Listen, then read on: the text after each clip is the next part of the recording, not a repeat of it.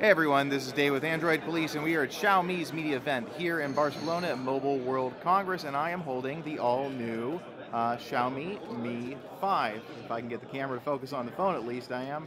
Okay, so um, as you can see, this is the new Mi 5. Uh, this is the black version in 64 gigabyte storage trim. Comes in a 32 gigabyte, a 64 gigabyte, and 128 gigabyte. 128 gigabyte is actually a special model called the uh, Xiaomi Mi 5 Pro, which has a ceramic as opposed to a glass back. Uh, 32 and 64 gigabyte versions have a uh, standard glass back. The 128, like I said, has a ceramic. We don't have one of those in front of us at the moment, and it's kind of a zoo here, so I don't know if we'll get one at all. But um, the big features on this phone: 5.15 inch display. Uh, Xiaomi says it's ultra bright, and I'll turn it up here real quick so you can see it is uh, pretty blinding um, to at least my camera. Um, so uh, a lot of the story here is a Snapdragon 820 processor and a low price. So you've got 4 gigabytes of RAM, a Snapdragon 820 processor uh, with variable clocks depending on which version you buy. I believe the Pro has the highest clock, though I'm not sure if it's the same 64. I think the 32 has a slightly lower clock than the others. Um, what else do you get? You get a brand new uh, Sony IMX, I believe, 298 rear camera sensor uh, that has face detect autofocus. I'm not really too sure how great this camera is going to be in practice. Xiaomi showed a lot of very impressive photos, but they didn't disclaim that they weren't retouched, so it's always hard to tell. Um, the autofocus is probably pretty fast. I doubt it's going to be as fast as uh, the autofocus on the new Galaxy S7, um, which is a different technology license from Canon.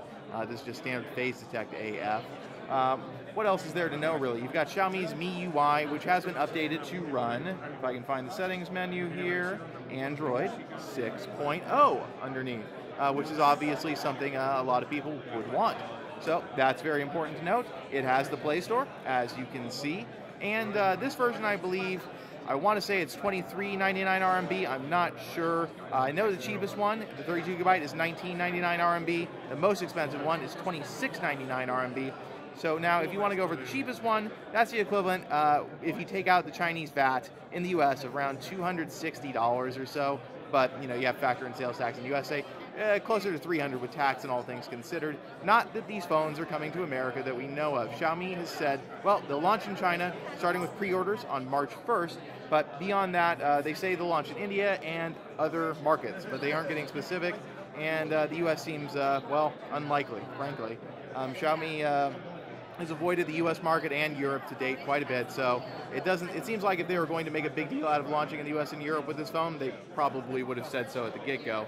Though we obviously can't know for sure. There's a fingerprint sensor here on the front. Um, Xiaomi wasn't too detailed about what makes it better or worse than any other fingerprint sensor. Um, you've got capacitive keys here.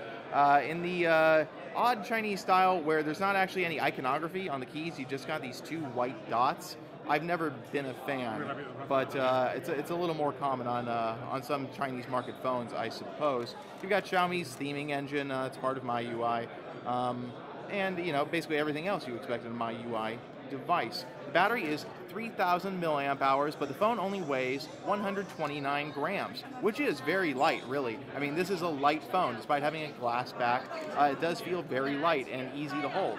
It's got the uh, Samsung-style curves on the edge here, which you may be able to see um, around the back. The front is flat, but the back has these curves on the glass that do make it a little easier to hold, uh, I would say, and that's what Xiaomi was saying as well.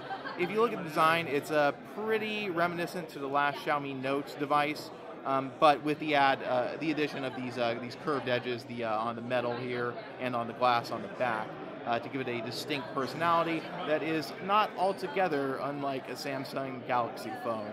So that is our quick look at the Xiaomi Mi 5, which you can probably not expect to come to a retailer near you, uh, at least through legitimate channels.